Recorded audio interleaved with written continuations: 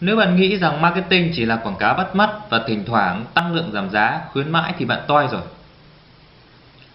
Marketing là tìm cách bán thật nhiều sản phẩm cho nhiều người hơn một cách thường xuyên hơn và giá cao hơn. Quảng cáo được yêu thích mà không bán được hàng tôi cũng cắt bỏ. Đó là một vài câu mình trích từ cuốn Marketing giỏi để kiếm được tiền. Trước tiên thì mình phải nói đây là một cuốn sách mà mọi người rất là nên đọc nha. Đối với những người mới bước chân vào nghề thì cuốn sách này sẽ giúp họ hiểu hơn về thế giới muôn màu marketing. Còn đối với những người đã đi làm lâu năm thì cuốn sách này sẽ giúp họ có cái nhìn sâu sắc hơn về thế giới marketing. Trước tiên là về tác giả Sergio Zayman, cựu giám đốc marketing của Coca-Cola, một marketer lão làng có tầm ảnh hưởng lớn trong thế giới marketing. Còn kinh nghiệm làm việc 13 năm marketing cho một thương hiệu toàn cầu như là Coca-Cola thì các bạn phải biết là ông giỏi đến mức độ như thế nào đấy.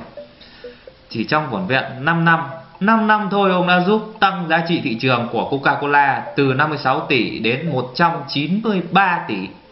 Wow, thật là một con số ấn tượng phải không nào?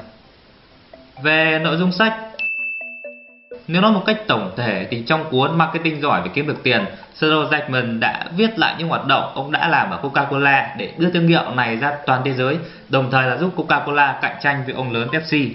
Cuốn sách sẽ sâu ra rất nhiều những chiến dịch từ thành công đến thất bại của Coca-Cola. Nhưng đến cuối cùng, những gì động lại trong tâm trí người đọc chính là những kinh nghiệm thực tế quý báu của Sergio Jackman. Chiến dịch mình thích nhất trong cuốn sách này chính là chiến dịch New Cook. Còn nếu chia nội dung theo chương thì ba chương của sách tác giả sẽ tập trung xoáy sâu vào ba vấn đề chính như sau.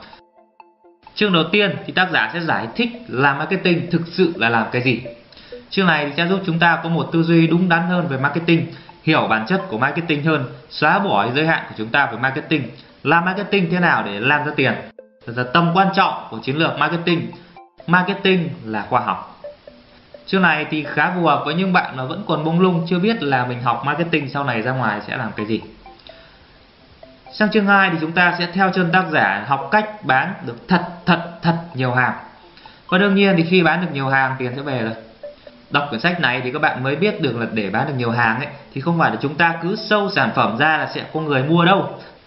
Theo Sero Jackman, để bán được nhiều hàng thì chúng ta phải có một chiến lược tốt và nghiêm ngặt tuân thủ theo chiến lược đấy.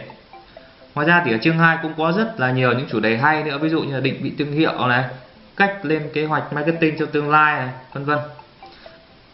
Chương cuối sẽ là cách thức để xây dựng một đội ngũ marketing mạnh. Chất lượng đội ngũ quan trọng hơn số lượng. Ở chương này thì tác giả cũng nói rõ hơn về agency. Nếu mà nào còn khá mơ hồ về khái niệm này, đắm mình vào chương 3, các bạn sẽ hiểu agency rõ như trang mùng 1 luôn. Từ lịch sử ra đời này, mục đích thì là vai trò của agency. Ok. Trên đây là cuốn marketing giỏi để kiếm được tiền, mình muốn review đến các bạn.